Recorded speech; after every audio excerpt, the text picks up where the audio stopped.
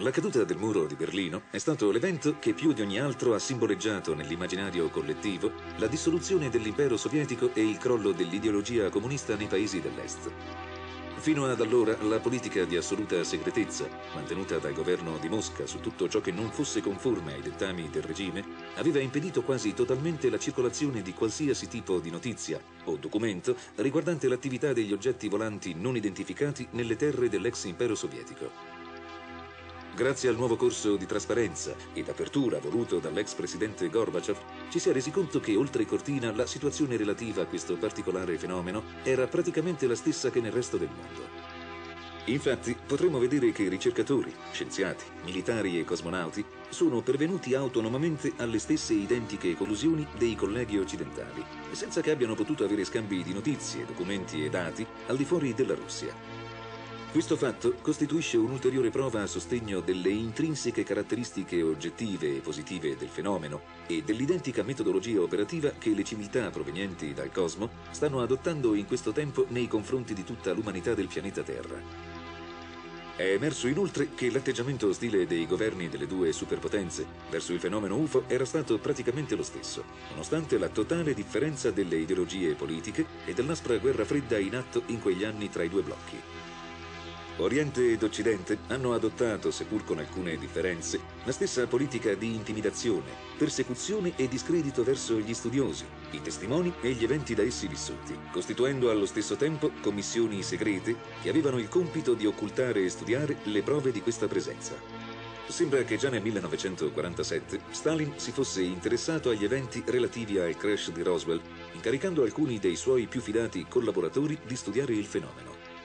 Successivamente altre indiscrezioni sono trapelate grazie a ricettori come l'americano Frank Edwards, il quale divulgò la notizia di un incontro segreto tra le potenze vittoriose della Seconda Guerra Mondiale avvenuto a Ginevra nel 1955 per decidere una comune strategia nei confronti degli oggetti volanti non identificati.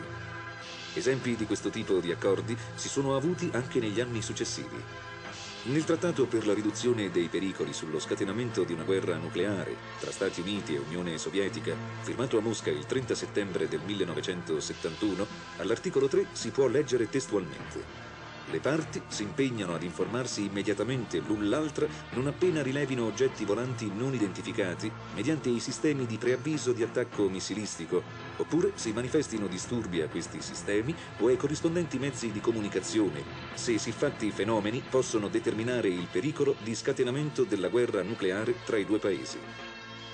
Va ricordato inoltre che durante uno degli incontri tra gli allora presidenti Reagan e Gorbaciov, il capo di Stato americano ebbe a dire che i contrasti tra le due superpotenze si sarebbero potuti agevolmente superare se si fosse dovuto far fronte comune verso il pericolo di una invasione da parte di una potenza aliena proveniente dagli spazi esterni. Nonostante sia risultato chiaro a tutti i governi il carattere pacifico della presenza extraterrestre sul nostro pianeta, essa genera nelle autorità costituite di qualsiasi cultura, dottrina religiosa o credo politico le stesse paure e le stesse violente reazioni. Qual è il motivo di tanto timore? Una risposta possiamo trovarla nelle quasi profetiche parole pronunciate dal padre della rivoluzione russa Lenin, quando inaspettatamente nel 1920 fece la seguente dichiarazione. Se riusciremo a stabilire delle comunicazioni interplanetarie, tutti i nostri concetti filosofici, morali e sociali dovranno essere riveduti. Ciò imporrebbe la fine della regola della violenza quale mezzo e metodo di progresso. E sono i fautori di questa regola della violenza, coloro i quali sicuramente avrebbero molto da perdere da una presa di coscienza dell'umanità su una realtà che scuoterebbe dalle fondamenta l'attuale inumana metodologia di governo dei popoli. Uno dei primi occidentali ad aver avuto l'autorizzazione a recarsi in Unione Sovietica per parlare pubblicamente di queste tematiche, ancora prima che avvenisse il crollo definitivo dell'impero sovietico, è stato l'italiano Giorgio Bongiovanni. Egli poté, già nel 1992, esporre su questi argomenti e su altri a forte valenza spirituale, di fronte a migliaia di persone accorse alle sue conferenze, alla televisione pubblica di Stato e persino in Parlamento, davanti ai deputati del popolo. Questo inaspettato risultato poté realizzarsi dopo un incontro che Bongiovanni ebbe a Madrid con l'allora presidente Gorbaciov, il quale lo autorizzò a recarsi in Unione Sovietica per parlare di questi temi. Successivamente si è rivelata di grande importanza la notevole ed inaspettata apertura della televisione di Stato, che ha attivamente collaborato, permettendo la diffusione di argomenti a carattere ufologico e spirituale ai circa 150 milioni di telespettatori sparsi in tutte le ex repubbliche sovietiche. Grazie a questa intensa attività divulgativa e di ricerca sono stati raccolti importantissimi documenti e testimonianze relativi alla realtà extraterrestre in Russia.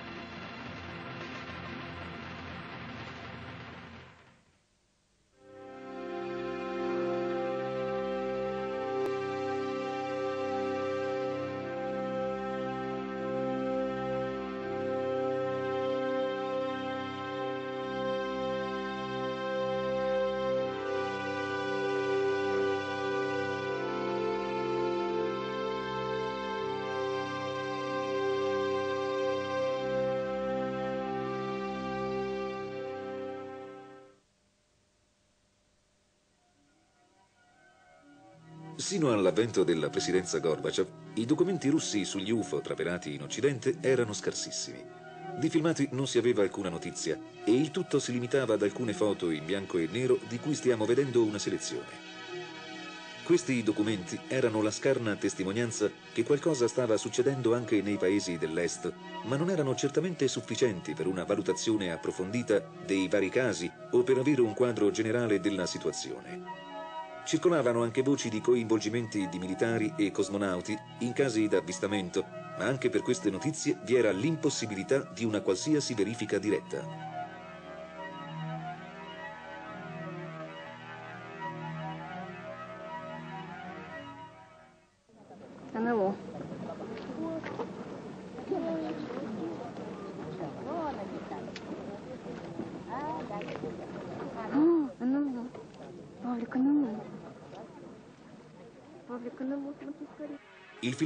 Realizzato a Sebastopoli, in Crimea, è stato uno dei primi documenti video sugli UFO realizzati nell'ex Unione Sovietica ad essere conosciuti in Occidente.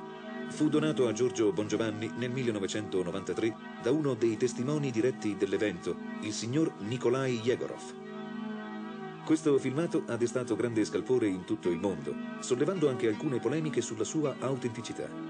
I tecnici della Panasonic, nota marca giapponese costruttrice della telecamera con cui era stato realizzato il video di Sebastopoli, affermarono che la forma dell'UFO presente in questo filmato era dovuta ad un'aberrazione ottica dell'immagine provocata dal diaframma della telecamera stessa.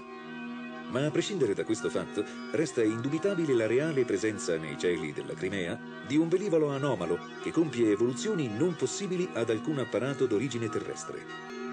Presenza confermata inoltre anche dagli stessi testimoni oculari dell'insolito evento. Il video fu consegnato da Giorgio Bongiovanni ai maggiori ricercatori di tutto il mondo, tra i quali il celebre studioso spagnolo Juan José Benítez. Quest'ultimo fece analizzare il video da un istituto militare spagnolo e l'esito delle analisi ha confermato l'assoluta genuinità del filmato di Sebastopoli. Dopo questo primo importantissimo documento, Giorgio Bongiovanni e il suo gruppo hanno realizzato una serie sempre più importante di tappe che hanno fatto capire quanto, anche nei paesi dell'Est, fosse stato attivo e compreso nella sua più intima essenza la caratteristica del fenomeno UFO.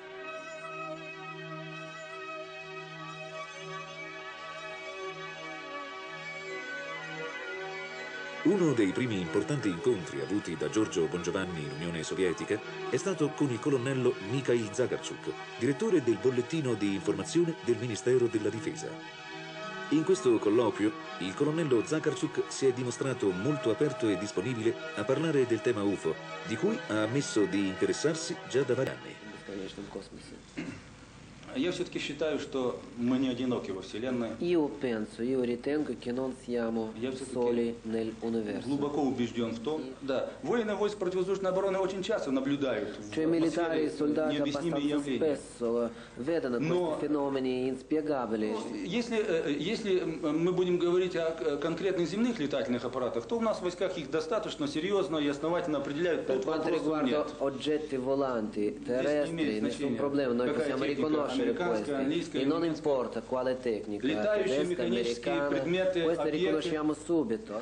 Там а, Là, было zona, в течение почти что двух часов над Переслав-Залесским Э, летали два неопознанных э, ore летательных объекта, по которым UFO работали средства противовоздушной обороны.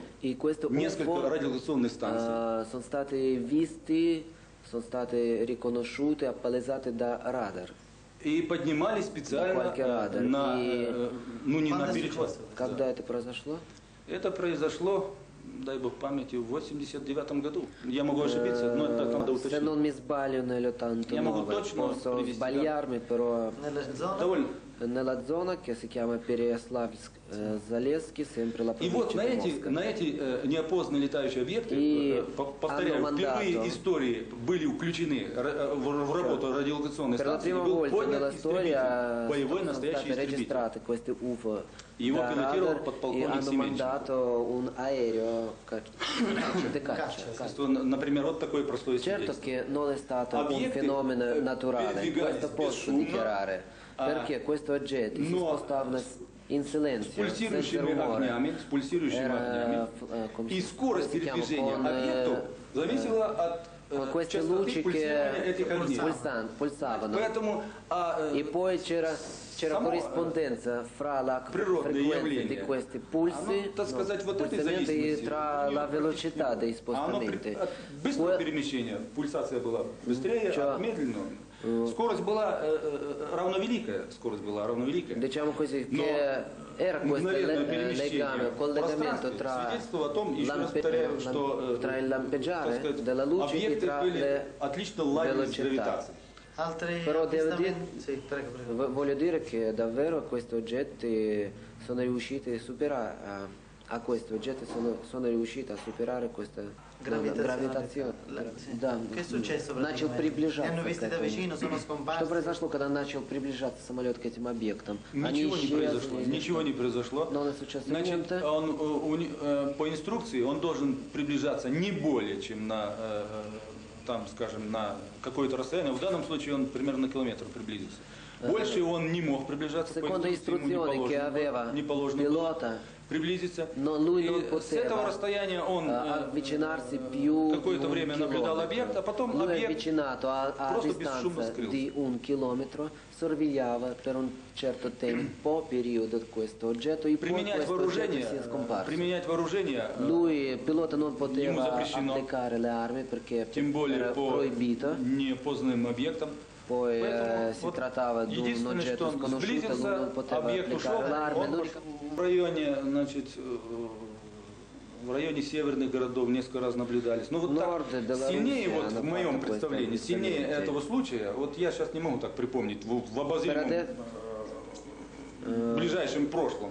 Secondo me quello che ho В разных, raccontato в era разных più местностях, importante. Per в adesso разных non, non mi ricordo э, gli altri регионах, av- как avvistamenti. правило, наблюдают, ну это, знаете, Però come наблюдение regola fanno questi на уровне avvistamenti, вот тех vedono вот questi fenomeni. ситуаций. Il divieto di attaccare con le armi questi mezzi è stato una conseguenza di alcuni violenti episodi di cui si è avuta notizia anche in Occidente. In alcuni casi ci sarebbero state decise reazioni da parte di questi mezzi alieni alle ricorrenti e ingiustificabili aggressioni armate attuate dai militari nei loro confronti. In conseguenza dei gravi danni riportati, i vertici militari russi avrebbero deciso di mettere in pratica i consigli di non usare le armi nei casi di intercettazione. Consigli fatti pervenire innumerevoli volte e attraverso vari canali da parte di questi esseri. Nonostante l'apertura in atto, già in quel periodo il colonnello Zakharchk conferma la difficoltà di portare avanti questo tipo di ricerche. К сожалению, э, у нас и до сих пор еще это, м, так сказать, не способствует изучению этой проблематики. У нас еще очень много закрытых вещей, э, затруднен доступ к э, информации, к архивам. Поэтому, да. Потому что еще каких-то, еще каких-то а уж тем более 10 лет, не могло быть и речи. Понимаете? Говорили, что Dieci anni fa non era molto impossibile, э, dicevano che non. esiste терпимо. UFO e basta. Ну, Per adesso возьму на abbiamo себя смелость. Э, Я не, не думаю, что я буду tolleranza, э, увлечен в più том, что я как-то хочу pazienza. э, своих руководителей. Alexander Kazantsev è uno dei più famosi, quasi mitici pionieri dello studio sugli UFO e la realtà extraterrestre, non solo della Russia, ma del mondo intero. Questo coraggioso personaggio ha osato parlare di questi temi in epoche nelle quali si correvano molti rischi e non solo professionali.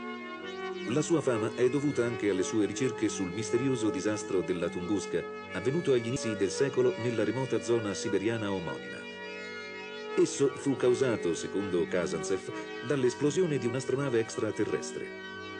Inoltre, grande eco ha avuto in tutto il mondo la sua teoria secondo la quale le statuette bronzee giapponesi, chiamate dogu, vecchie di oltre 4.000 anni, rappresentano esseri vestiti con tute praticamente identiche a quelle dei moderni astronauti. Un fatto che, secondo Kazantsev, indica la presenza di esseri extraterrestri sul nostro pianeta sin dall'antichità. Quindi, professore, questi esseri esistono secondo lei Таким образом, можно сказать, что эти существа, и они существуют э, в космосе, существа, эти существа приходят на Землю. Вы знаете, э, не исключено, Но не что Землю посещает обитатели далеких населенных миров.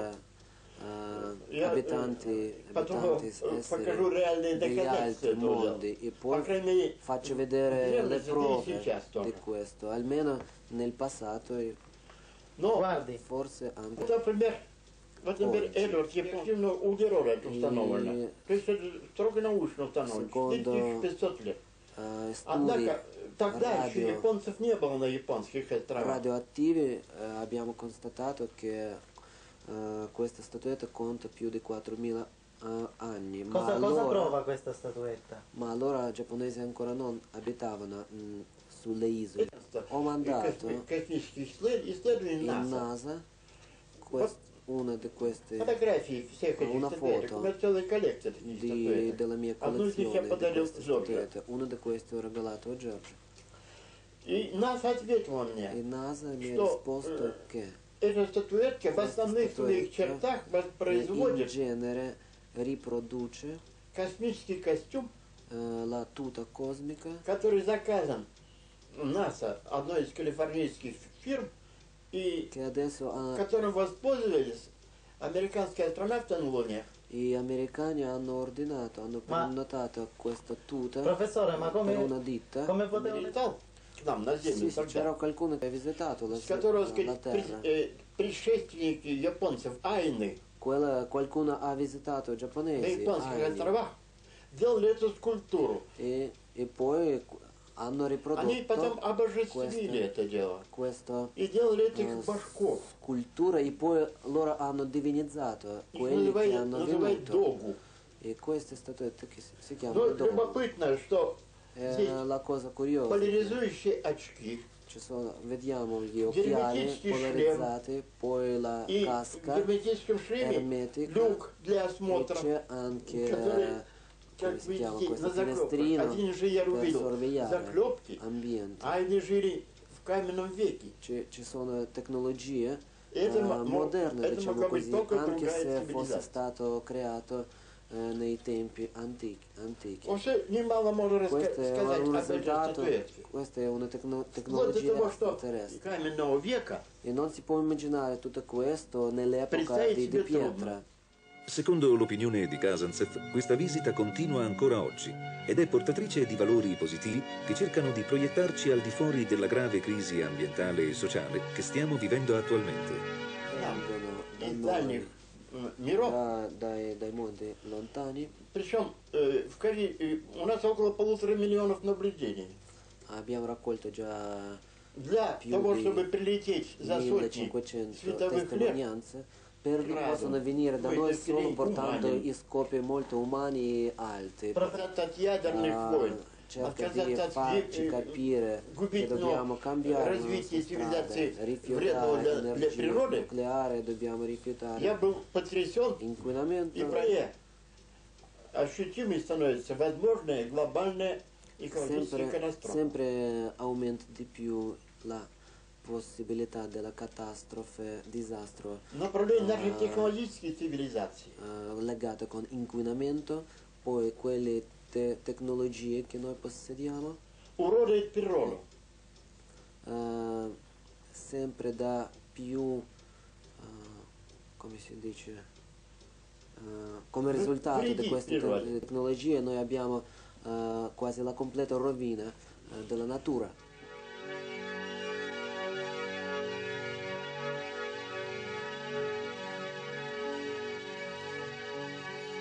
Nel marzo del 1992, nella città spaziale di Mosca, l'importante centro dove vengono istruiti ed allenati i cosmonauti russi, Giorgio Bongiovanni si incontra col cosmonauta, ora generale, Vladimir Kovalyonok. Egli racconta di aver avvistato nello spazio un oggetto di natura non terrestre il 5 maggio del 1981 durante uno dei voli della missione Soyuz.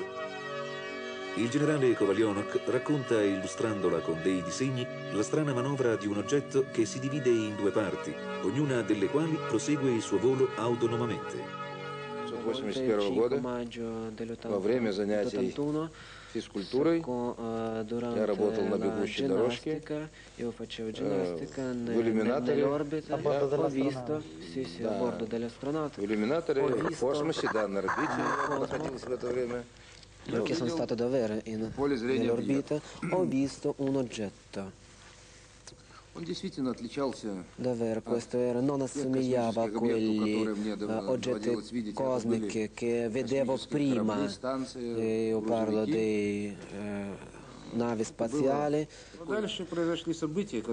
Poi è successo qualcosa che, può, che, per me è molto difficile spiegare dal punto di vista fisico. Questa forma, cioè ho visto questo, come si chiama? Spa- Sistole, Sistole, sì.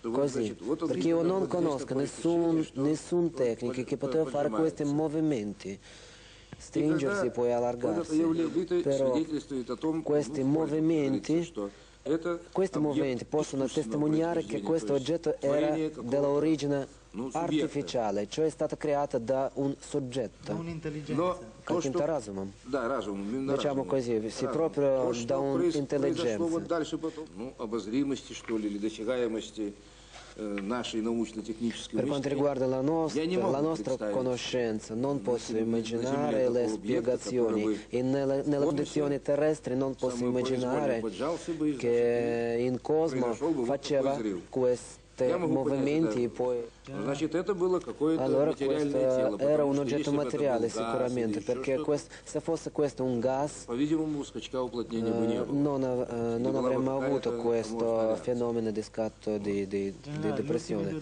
И e последние два вопроса пока. Первое.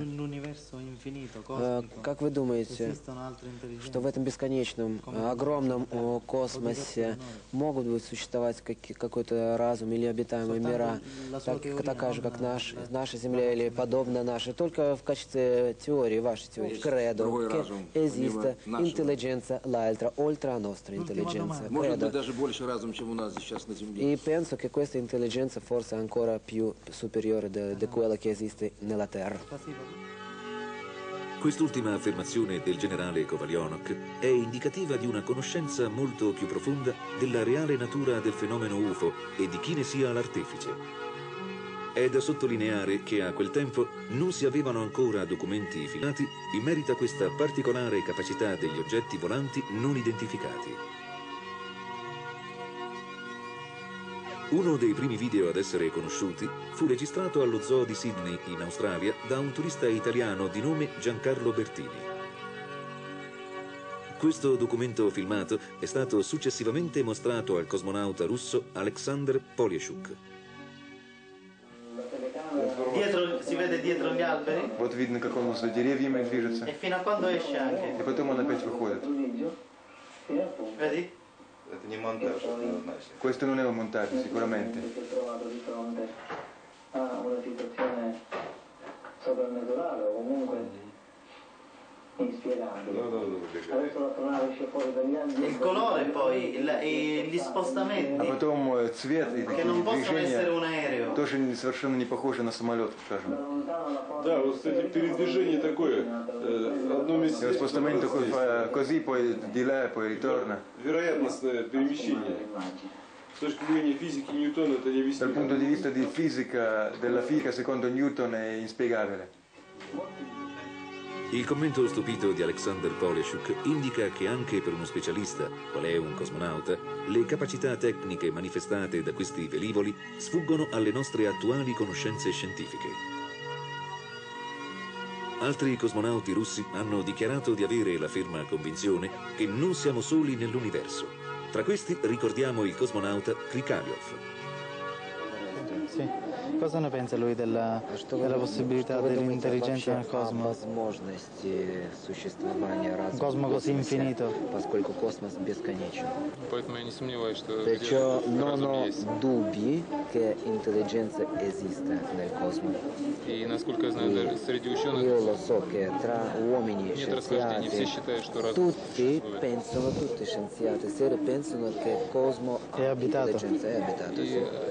э, о какой-то цивилизации, Se c'è которая verità там на миллиарды лет старше нас, che è più vecchia di nostra, то, più sviluppata di на- nostra. наверное, проявление действия вот Forse этой tutta questa, цивилизации questa civiltà si manifesta attraverso questi Може для нас казаться fenomeni. чем-то? Per noi Nell'ottobre del 1992, Giorgio Bongiovanni, dal centro di controllo dei voli spaziali di Mosca, parla in diretta con i cosmonauti della stazione orbitale Mir. Essi confermano che il volo nello spazio produce uno stato particolare nell'animo dell'uomo. Un fenomeno già testimoniato dagli astronauti americani e confermato anche da altri cosmonauti russi. Sono Giorgio Bongiovanni che Меня зовут, меня зовут Giorgio Bongiovanni. eh, vi saluto nel nostro gru- a nome del nostro gruppo Non siamo soli e del mio Я padre, вас приветствую от имени нашей группы, которая называется «Мы не одни», e del mio padre spirituale Eugenio Siragusa. моего духовного отца Eugenio Сирагуза. Per noi è un onore parlare Большая честь говорить сейчас с вами, con, gli sci- con voi che siete nello spazio, в то время, когда вы находитесь э, в космосе. perché dallo spazio si può sentire meglio Потому что, находясь в космосе, можно лучше слышать e vedere meglio lo Spirito di и Dio. лучше видеть Дух Бога. Possiamo dire ancora che questa altezza dalla Terra, certo ci avvicina più a Dio, ma lo stato dello spirito dell'uomo, lo stato interiore dell'uomo, umore dell'uomo, eh, migliore. Ну понятно. Кстати, такое мнение, ну, в общем-то, есть у ребят, которые были в космосе, что с человеком что-то происходит. I cosmonauti che sono stati nel cosmo hanno un parere che nel cosmo succede qualcosa di strano con l'uomo. Вот э, Кальери, Авдеев, все они говорили, что я как-то E изменился. Avdeyev Но ed altri объяснить hanno словах detto этого не могут. che io mi sono cambiato, però non so È come vero. spiegarlo.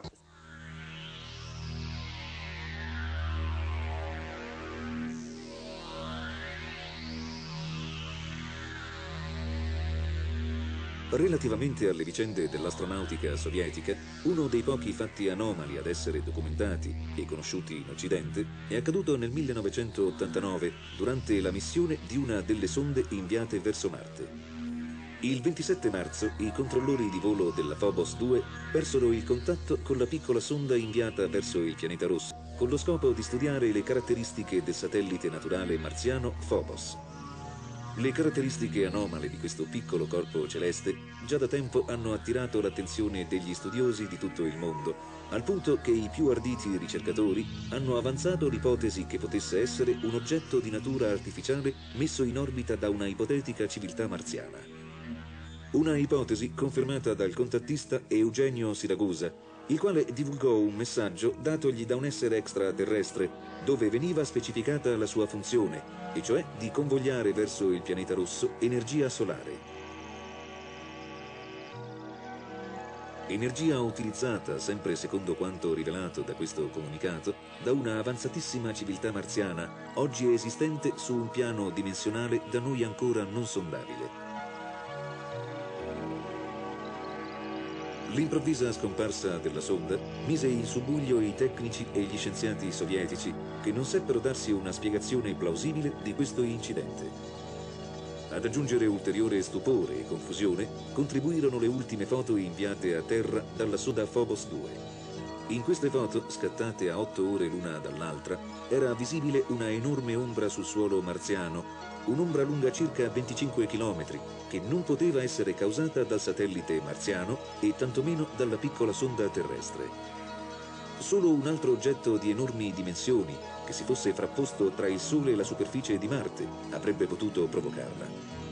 Un oggetto la cui improvvisa comparsa coincide stranamente con la repentina cessazione delle trasmissioni tra la sonda Phobos 2 e il centro di controllo a terra. I tecnici sovietici spiegarono che l'interruzione dei collegamenti era avvenuta nel momento in cui gli obiettivi delle camere fotografiche della Phobos 2, dopo aver scattato le due foto dove compare la strana ombra, venivano puntati nella direzione da dove essa proveniva e dove si trovava anche il satellite marziano Phobos. Venne anche detto che la sonda fece in tempo a scattare un'ultima foto, ma essa non venne mostrata, infittendo ancora di più il mistero e i sospetti su questo strano incidente. Ma inaspettatamente questa ultima foto fu mostrata dalla studiosa russa Marina Popovic durante un congresso sugli UFO tenuto in America nel dicembre del 1991. In questa foto ufficiale dell'Agenzia Spaziale Russa è possibile vedere il satellite marziano Phobos e un oggetto sigariforme di circa 20-25 km di lunghezza molto vicino al satellite di Marte. Una foto ufficiale sulla quale nessun commento è stato fatto dall'Agenzia Spaziale della ex Unione Sovietica e che dà il chiaro segno di una presenza non terrestre che vigila ed interviene quando non condivide il nostro operato. Questa presenza è visibile in un altro filmato realizzato dal cosmonauta Musa Manarov durante l'aggancio con la base orbitale Mir. In questo documento, registrato il 5 giugno 1993, possiamo osservare nei pressi della stazione terrestre un oggetto luminoso sigariforme, la cui lunghezza, stimata dai ricercatori, è di circa un chilometro. Questa presenza si è manifestata altre volte nei pressi della stazione orbitale russa. I filmati che stiamo vedendo, registrati dagli astronauti della navetta spaziale americana nel maggio del 1997, ne danno testimonianza. Nelle immagini possiamo vedere degli oggetti luminosi eseguire vicino alla Mir delle manovre che denotano una propria autonomia di volo.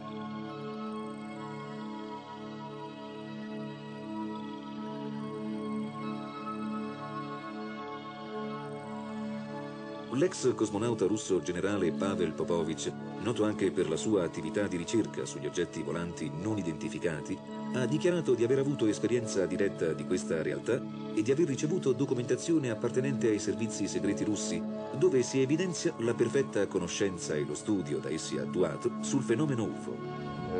Я встречался с одним каким-то непонятным объектом, но не во время космического полета, а во время перелета с Вашингтона в Москву.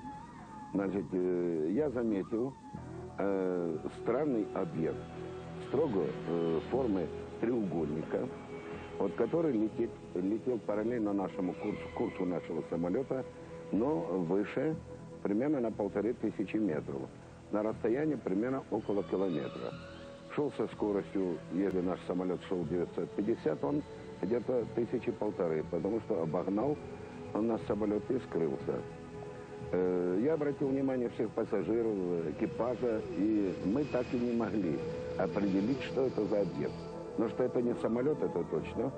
А что за объект? Просто э, ровный, четкий белый треугольник. Белый, белый, белый треугольник. Он не излучал ничего, ничего не передавал. В общем, короче говоря, настоящий, как говорится, НЛО. Я понимаю, что современный уровень науки объяснить не может это явление. И я, например, знаю о том, что и э, Российская Академия Наук сейчас ставит вопрос э, довольно ну, серьезно. Ну, я, например, знаю о том, что мне в прошлом году из КГБ прислали целую вот такую папку м, писем, сообщений, э, там и контактеры, и очевидцев, которые наблюдали описание всех этих случаев очень и очень многих. Copia di questo dossier, composto da 124 pagine, che riportano 17 rapporti stilati da personale militare tra il 1982 e il 1990, è stata donata anche a Giorgio Bongiovanni, che ne ha permesso la divulgazione in Italia. Questi documenti non contenevano elementi di primaria importanza, ma provavano definitivamente la conoscenza, lo studio e l'occultamento di prove ben più consistenti da parte dei servizi segreti russi. Su questo tema è interessante anche la testimonianza del professor Kazazev. Ma so che i militari eh, della eh, uh, difesa contraerea avevano il, un ordine di registrare tutti i fenomeni di questo genere. Per quanto riguarda il KGB, io so? Che molti amici miei cosmonauti, i primi, eh, firmavano un documento.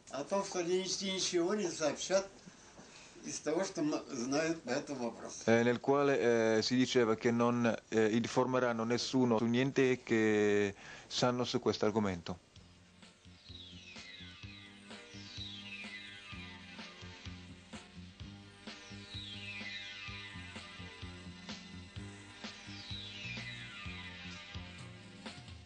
L'affermazione del professor Kazantsev sull'attività di studio sugli UFO svolta dai militari della contraerea russa viene inaspettatamente confermata da un importante evento verificatosi nel 1997. In tale data Giorgio Bongiovanni e il suo gruppo si incontrano con una equipe militare della contraerea che studia il fenomeno UFO ed extraterrestre per conto del governo russo. Ma veniamo ora ai fatti. Mercoledì 5 febbraio 1997, città di Tver, 200 km da Mosca. All'interno dell'Accademia della Difesa Contraerea dell'Esercito russo, bandiera russa, avviene l'incontro tra la delegazione civile di studiosi del fenomeno UFO extraterrestre, guidata da Giorgio Bongiovanni, e la delegazione speciale militare per lo studio del fenomeno UFO ed extraterrestre nel territorio russo, guidata dal generale a tre stelle Gennady Reshetnikov. Oltre al generale comandante, la delegazione russa era composta dal referente del generale, tenente colonnello Boris Sidorenko, dal maggiore Vyacheslav Bulogic, incaricato dal generale Reshetnikov in qualità di specialista per la ricerca sugli UFO e sugli alieni in Russia, e dall'ufficiale per la stampa militare dell'Accademia Mikhail Belov.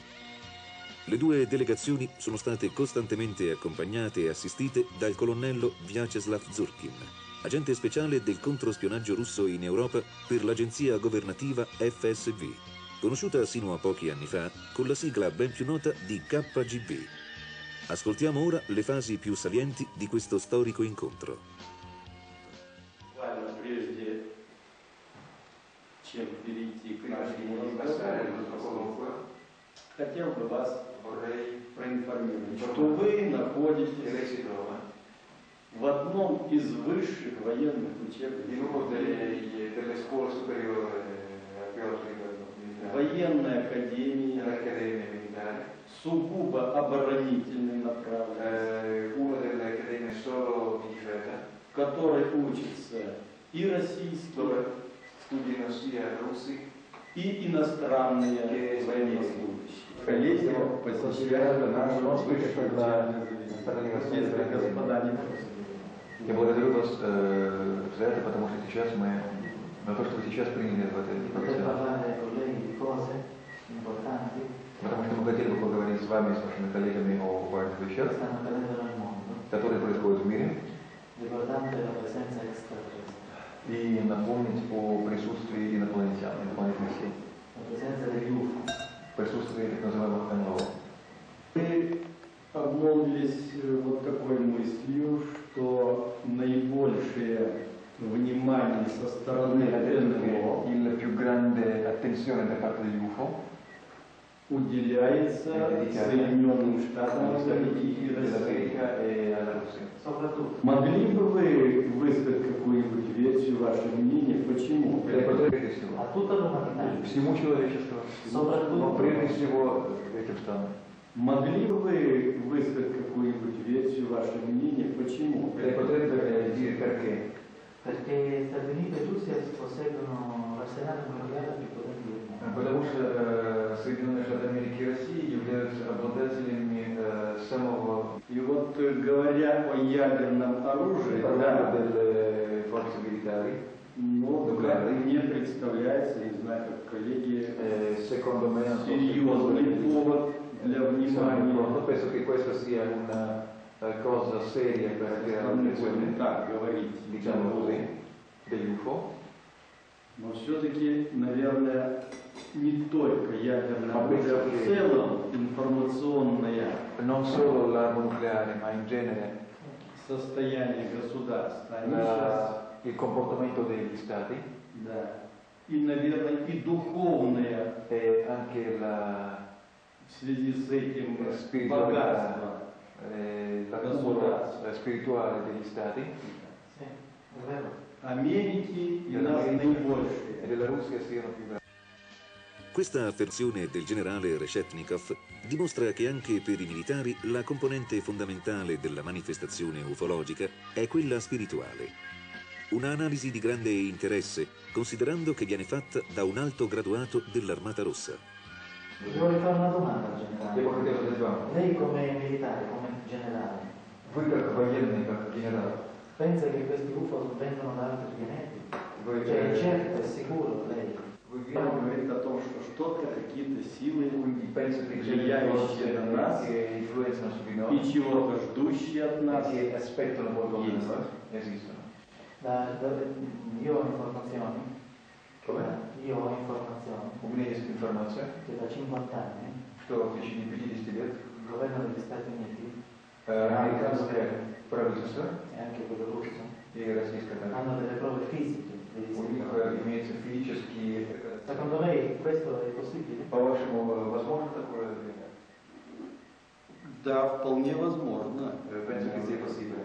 Я в свое время служил на Дальнем Востоке. Был на одной из конференций, это уже лет 15 тому э, где было очень много материалов, представленных, да, именно зарубежных. У нас тогда это Советском Союзе большой редкостью наши отечественные наработки в области мифологии. А вот их зарубежные, они меня поразили.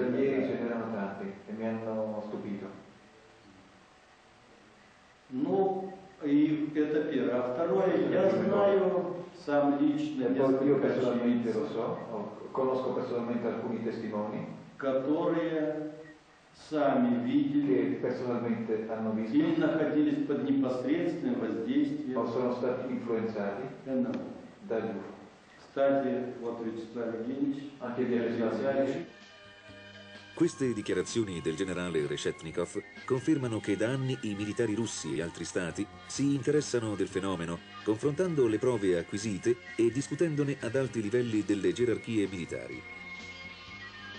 Bisogna rivelare alla gente questo. нужно открыть людям эти вещи. Capisco che ufficialmente non lo potete fare, Я понимаю, что официально вы сейчас сразу не però можете, bisogna iniziare lentamente. но нужно потихонечку начать двигаться. Io che posso aiutare? Э, Дело в том, как я понимаю, мое личное мнение, Questo è il mio parere что personale, заявление подобного рода che una правительства dichiarazione di questo genere a livello governativo одной из э, держав или da uno degli супердержав stati o delle superpotenze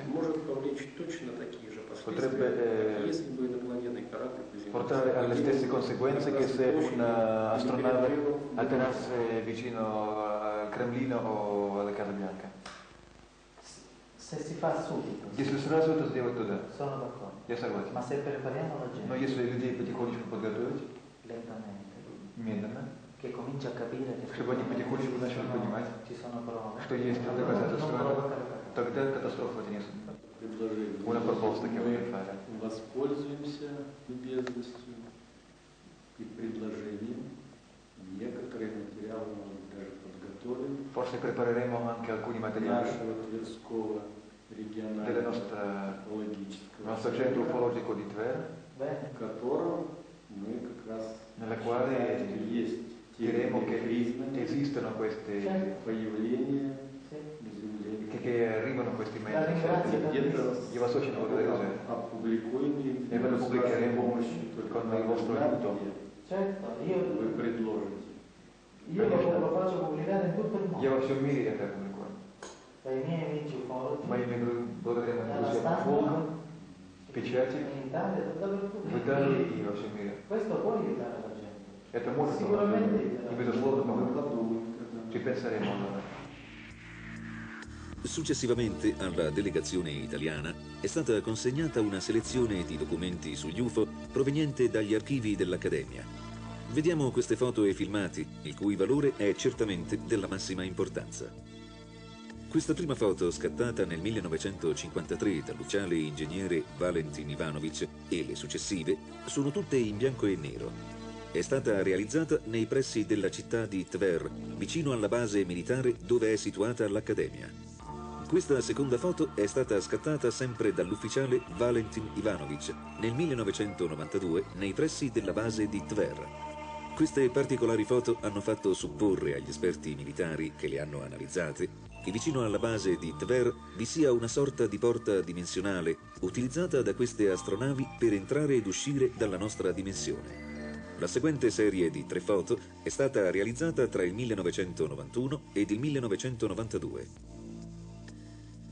Questa straordinaria foto è stata scattata da alcuni giovani vicino al perimetro della base militare di Tver il 3 marzo 1991. Appartiene ad una serie di 11 foto, tutte studiate ed analizzate dagli esperti dell'Accademia Militare di Tver. In queste foto vi sono molti punti di riferimento, quali gli alberi e le case che si trovano sulle rive di uno dei bracci del fiume Volga.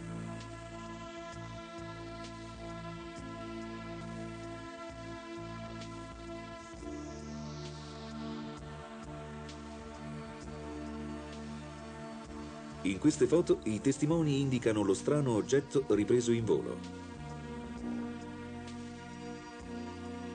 In questa immagine vediamo il velivolo anomalo librarsi sopra i palazzi di Tver. Questa foto mostra i potenti bagliori di luce emanati da questi oggetti durante le loro evoluzioni. Della documentazione fanno anche parte due brevi filmati che mostrano le particolari evoluzioni di alcuni oggetti volanti non identificati nel territorio di Tver. Nel primo filmato vediamo alla destra dello schermo due oggetti che si materializzano, mentre a sinistra un altro oggetto si divide in due parti per poi scomparire successivamente. Ricompare un oggetto a destra che nuovamente si divide in due parti.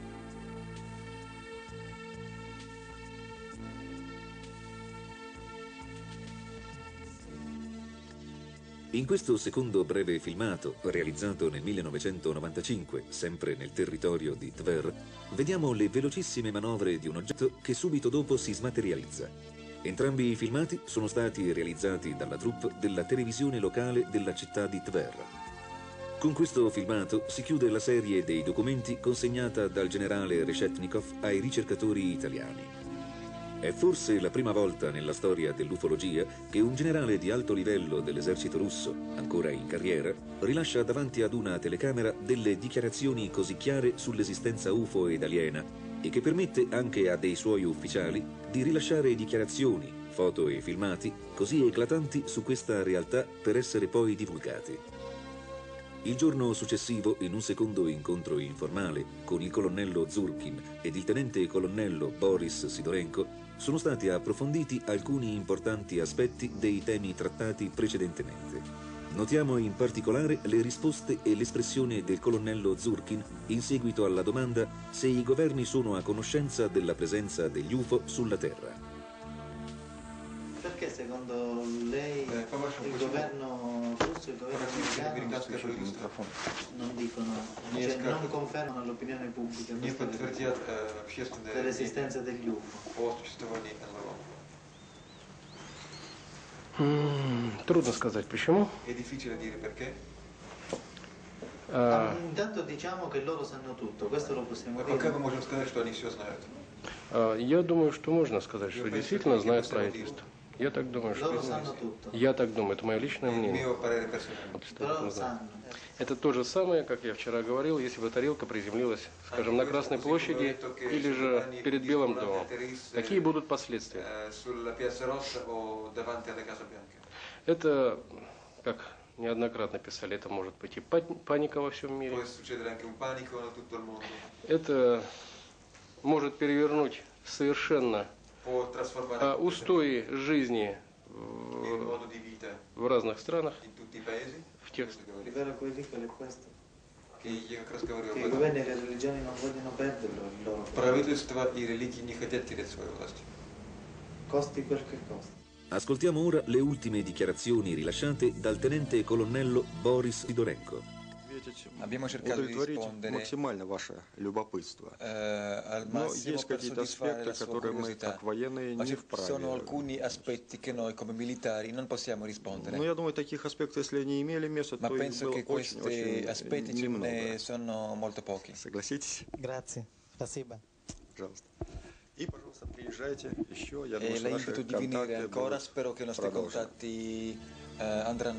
Grazie. Спасибо.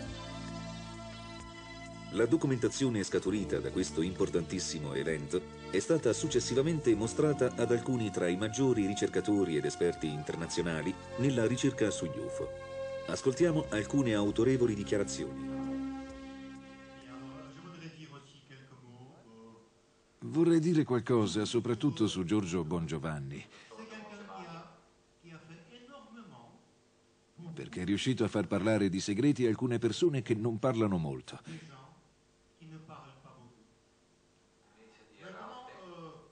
Ciò che è bizzarro e che mi ha colpito è che io ho cercato di contattare il generale, ma non mi ha voluto ricevere. Giorgio invece trova il modo per arrivare ovunque e riesce ad aprire tutte le porte, anche in Russia. Ho provato un forte sentimento mentre guardavo questo filmato. Devo dirvi onestamente che vedere un generale a tre stelle che parla di questo argomento mi ha fatto arrabbiare. Perché io e molti miei colleghi abbiamo cercato disperatamente per molti anni di convincere il nostro governo a parlare apertamente di tutto ciò. I'm very impressed by Sono rimasto molto impressionato dal fatto che Giorgio sia riuscito ad arrivare in Russia a Tver. Se si guarda il filmato, si ha la chiara impressione che il generale sappia molto molto di più di quello che dice o di quanto abbia il permesso di dire. Um,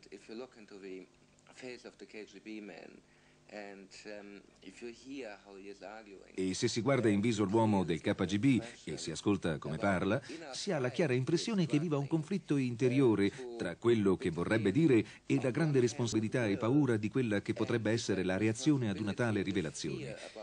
Il materiale che hanno dato a Giorgio è molto interessante e di grande importanza, ma come tutti sappiamo non è altro che un fiocco di neve sulla punta dell'iceberg.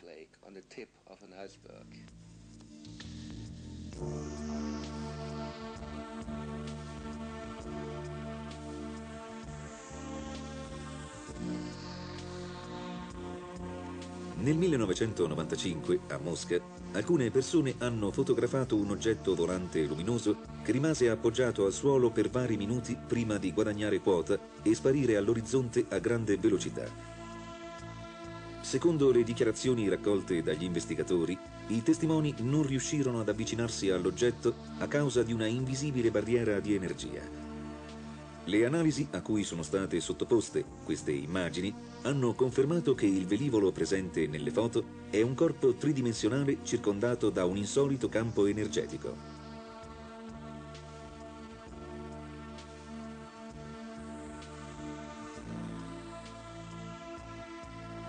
Nel giugno del 1997 Giorgio Bongiovanni è nuovamente a Mosca per un altro appuntamento nell'ambito della sua opera di ricerca e testimonianza sulla realtà extraterrestre e sulla spiritualità.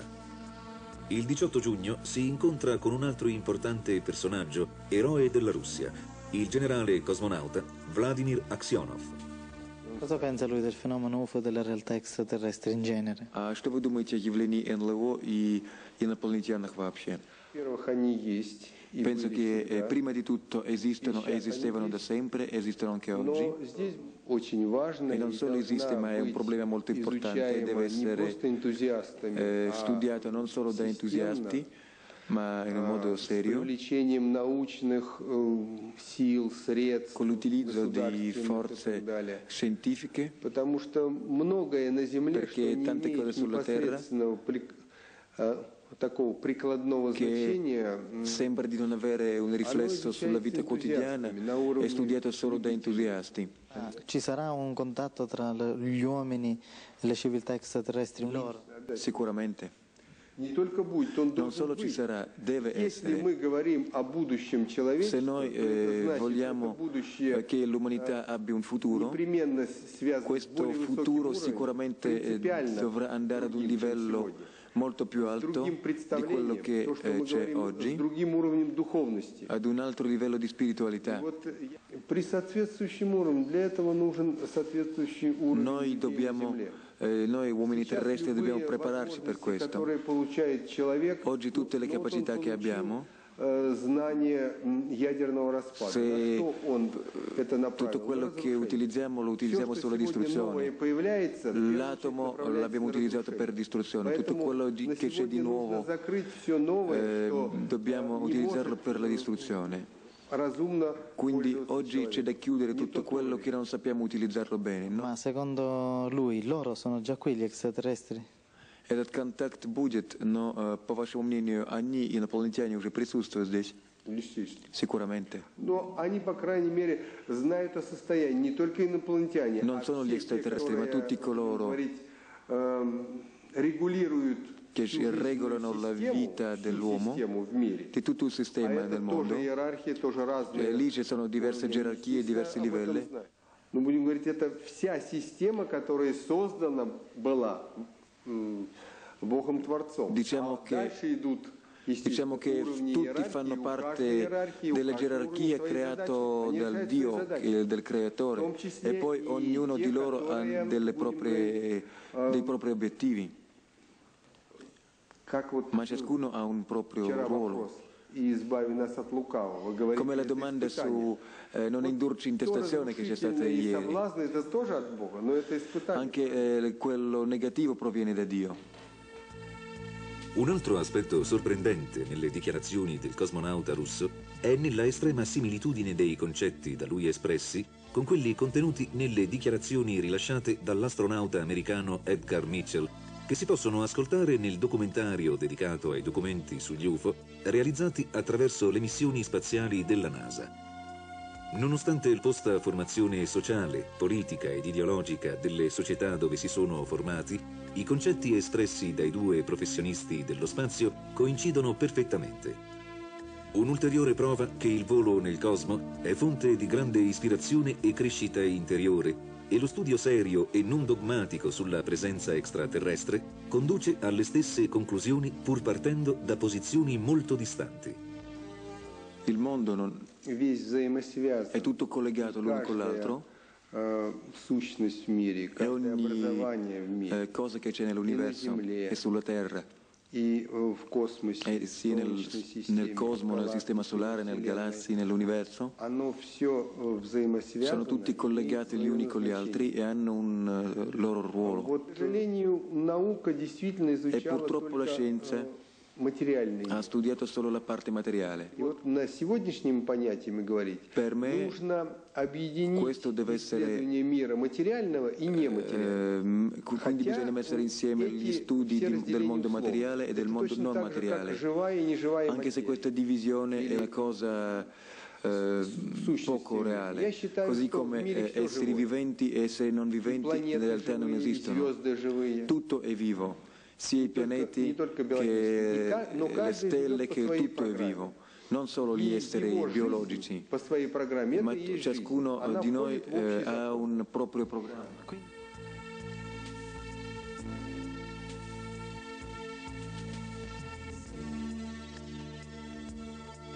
Successivamente, Giorgio Bongiovanni riesce ad ottenere alcune importanti foto scattate dai militari russi Gennady Korniev e Vassili Zaitsev il 5 gennaio 1992 nella base spaziale Stella Polare. Questa installazione si trova vicino alla città di Plasesk ed è la base missilistica di lancio più a nord della Russia.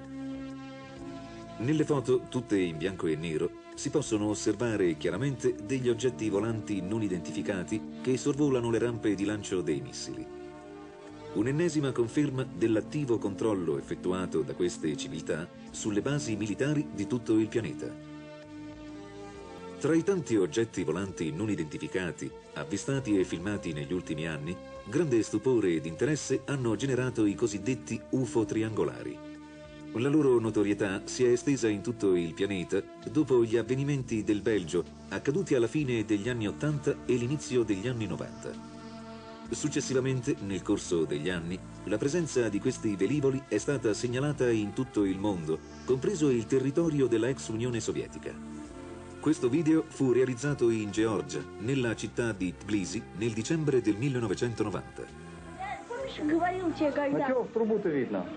Да в трубу там точки. А эти звездочки, я заметила, они поворачиваются по часовой стрелке. Un altro velivolo molto simile è stato avvistato in Russia il 19 febbraio 1997 nella città di San Pietroburgo. L'oggetto è stato filmato da varie persone e si è stimato che la sua larghezza fosse di circa 300 metri.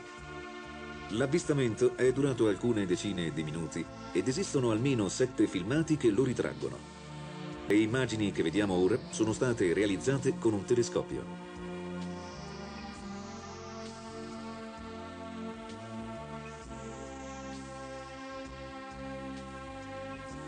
Da quanto abbiamo potuto ascoltare sino ad ora, appare evidente la grande profondità dei concetti espressi dai cosmonauti, dai militari e dagli scienziati russi. Come ripetutamente sottolineato, ciò è ancora più incredibile considerando la natura atea della filosofia sociale e politica nella quale hanno vissuto gran parte della loro vita questi uomini. Anche il cosmonauta Gennady Strekalov, intervistato nel giugno del 1998 nella città dei cosmonauti a Mosca, affronta le tematiche legate alla presenza extraterrestre e alla crisi del pianeta da una visuale non solamente tecnica. Nel 1997, tra i ricercatori ufologici, si era diffusa la notizia che questo cosmonauta fosse uno degli autori del filmato dell'UFO sigariforme vicino alla stazione orbitale Mir. Ma ciò non corrisponde al vero, in quanto Strekalov è stato testimone di un fatto anomalo accaduto in un'altra occasione. Nell'anno 90 anch'io ho visto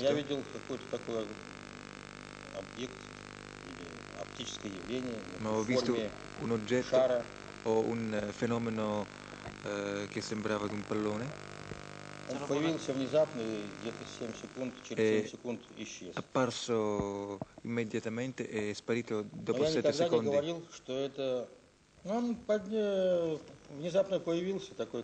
È apparso all'improvviso. un pallone come si mettono sugli alberi di Natale era verdastro e Я cambiava даже не успел colori. взять э, фотоаппарат или видеокамеру. Non ho fatto in tempo a prendere la macchina fotografica o una videocamera perché è sparito Dove tra stavate circa volando? 7 secondi. In che zona del... Lei crede che esistano altre civiltà extraterrestri? А вы верите в существование э, других э, цивилизаций в космосе? Вот в это я верю. In questo ci credo. А Я уверен, что есть цивилизации, которые ра- разумнее нас. E sono sicuro che ci sono delle ti- Цивилизации, civiltà которые più avanzate di noi, ci sono altre meno avanzate? È un processo eterno. Penso che se hanno i mezzi tecnici e se crediamo nell'esistenza degli UFO, certamente ci visitano. Forse con lo scopo di osservarci? O forse per controllare? L'umanità deve capire in che direzione va e cosa fa e che eh, risultati ottiene. Forse è proprio per questo che non ci sono interventi di altre civiltà più evolute, più intelligenti. Se Dio esiste, per, per noi esiste. Quest'ultima considerazione di Strekalov e le seguenti sottolineano ancora una volta la grande responsabilità che dovrebbe avere l'uomo quando si trova a compiere scelte in grado di coinvolgere l'intera umanità e l'equilibrio del pianeta stesso.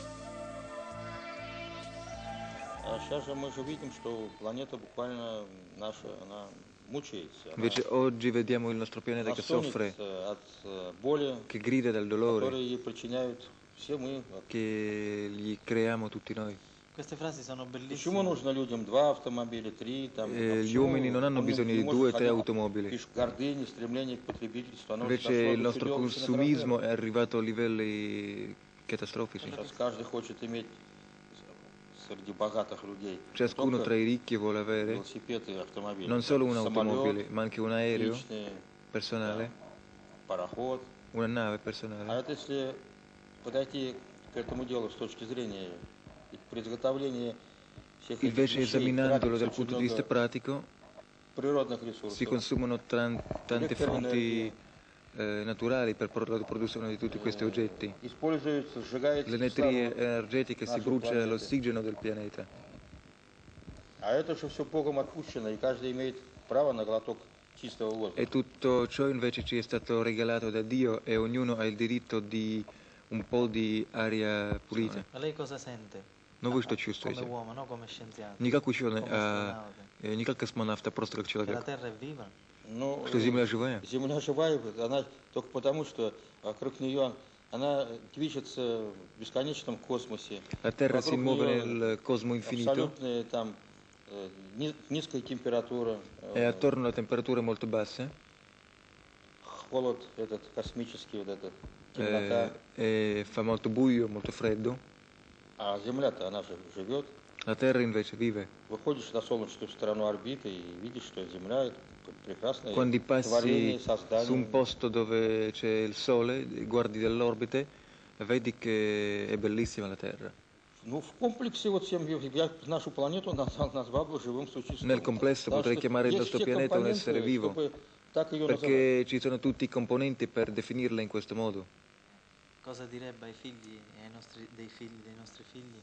Per preservare la Terra? La raccomandazione più importante per evitare un'autodistruzione dell'uomo. Cosa какова была бы ваша самая главная рекомендация, призыв к детям наших детей для того, чтобы сохранить Землю, чтобы не допустить ее саморазрушения? Дети всех народов I figli di tutti i paesi, di tutti i popoli, должны понимать одну очень важную вещь. Devono capire una cosa molto importante, Che le ambizioni dei loro padri,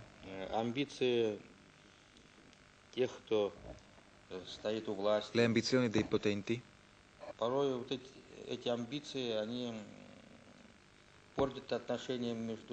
queste ambizioni rovinano spesso i rapporti tra i bambini, tra i figli, anche se tutti i figli... Eh, per...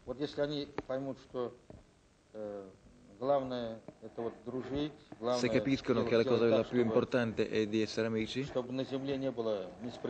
di evitare l'ingiustizia sulla terra, che ogni bambino possa manda- mangiare un mela e non come adesso che uno ha una tonnellata di mela e un altro non ha niente. Questa amicizia, comprensione sono le cose le più importanti e noi adulti dobbiamo aiutare, dobbiamo favorire a questo modo di pensare. Perché non possiamo, pens- non possiamo entrare nel terzo millennio con il vecchio bagaglio.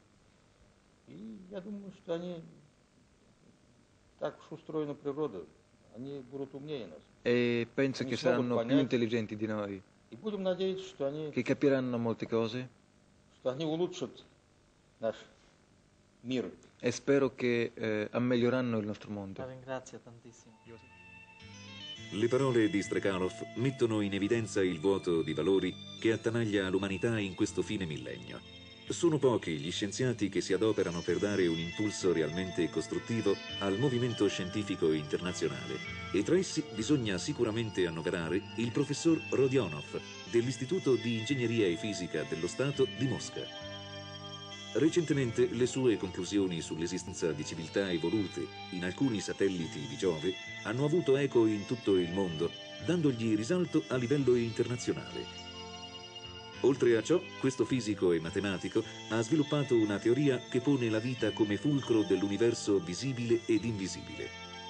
Una teoria che, partendo da principi scientifici ben conosciuti, indica l'esistenza della materia oscura o lineare, materia invisibile, che secondo il professore è vivente ed intelligente, che può creare e governare la vita e la materia visibile in tutto l'universo e di cui sarebbero formati anche i dischi volanti. Secondo il professor Rodionov, gli UFO sono costruiti con materia lineare e provengono da una dimensione per noi non ancora sondabile, dove i nostri concetti di fisica non hanno valore.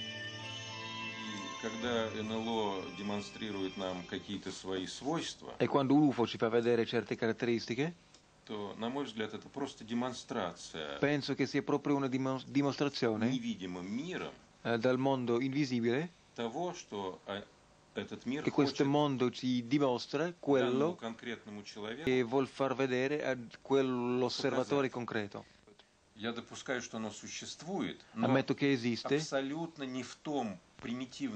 ma non nel modo primitivo nel quale cercano di trattarlo. Ho capito. Le persone che partono dalla fisica scolare, diciamo. Ho, ho capito, adesso eh, gli UFO contraddicono la fisica della prima elementare. Esattamente.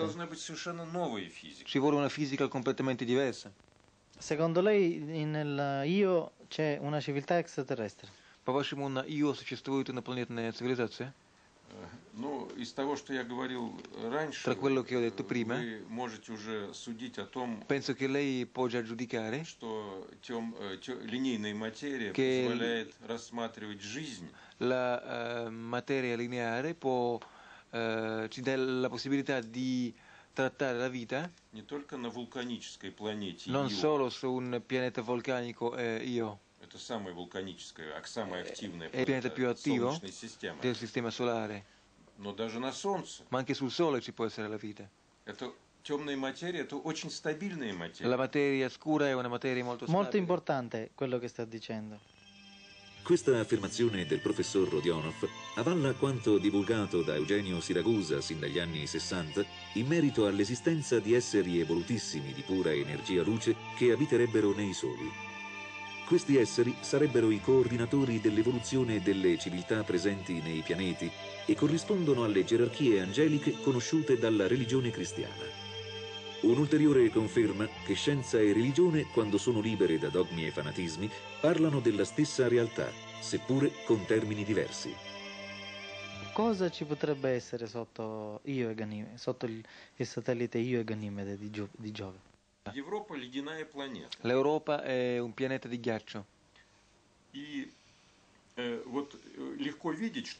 e si vede facilmente che questi fili, questi elementi lineari, che sono lunghi decine di chilometri sull'Europa,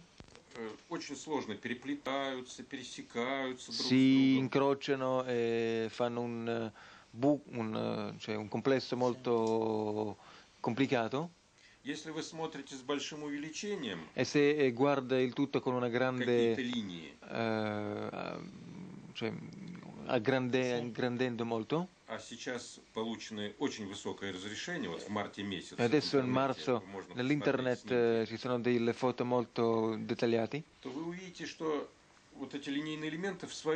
lei potrà vedere che questi elementi sono creati da altri elementi lineari. Quindi?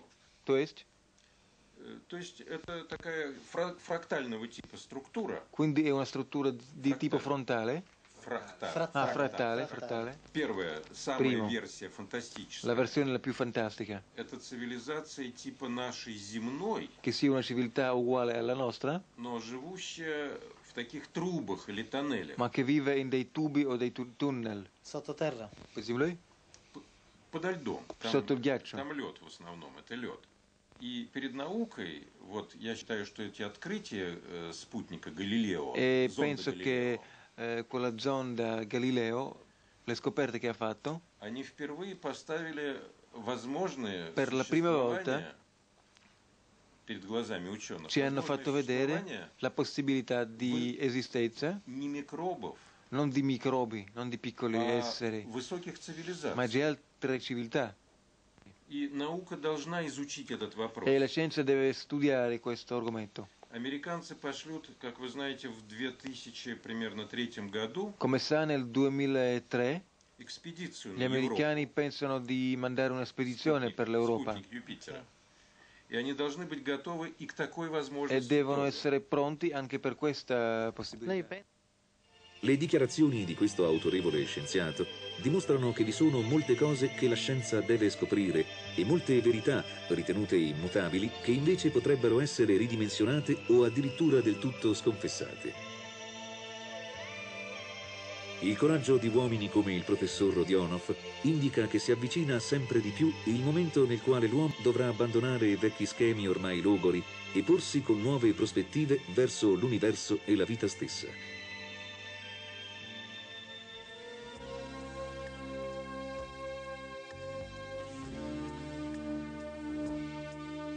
Questa straordinaria foto è stata scattata nella periferia di Mosca nel 1997 possiamo vedere un enorme oggetto volante di luce sospeso sopra un tendone all'interno del quale si stava svolgendo un incontro spirituale.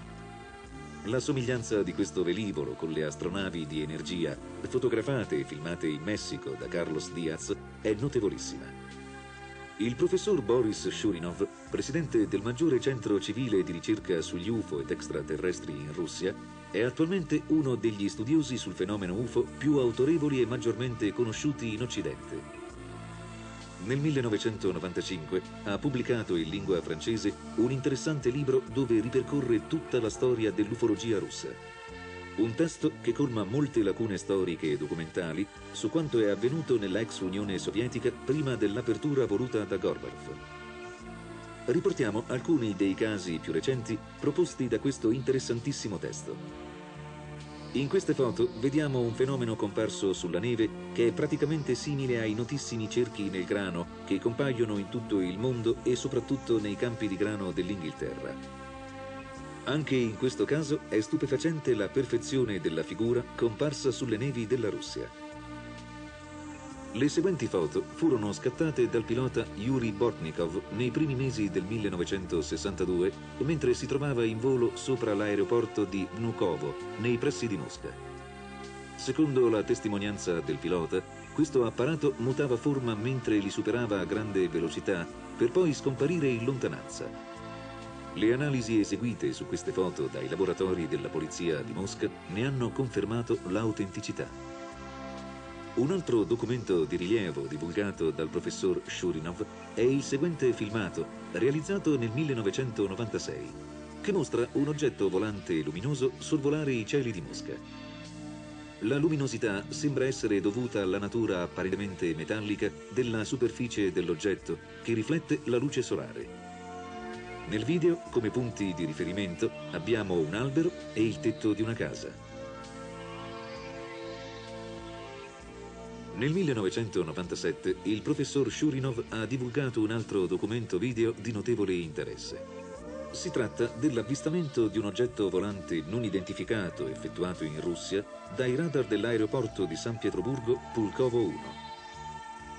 L'evento, accaduto il 2 marzo 1991, riveste una grande importanza in quanto l'oggetto è stato osservato visivamente dal personale di controllo dei voli e successivamente in modo strumentale con i radar.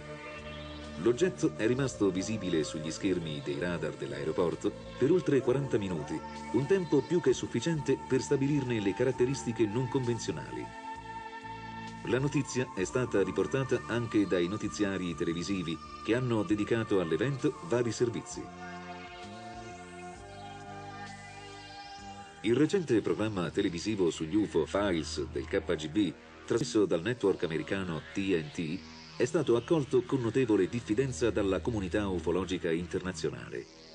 I ricercatori sospettano possa trattarsi, come in altre occasioni, di una operazione manovrata dai servizi segreti degli Stati Uniti. Dalle verifiche sui documenti è emerso che alcuni dei filmati presentati nel programma non mostrano UFO, ma oggetti di costruzione militare. Secondo l'autorevole parere del professor Shurinov, i dati sinora presi in esame indicano si tratti di una messa in scena abbastanza approssimativa per la presenza di dettagli palesemente falsi e incongruenti. Una nuova vergognosa operazione messa in atto da coloro che vogliono screditare una realtà sin troppo scomoda.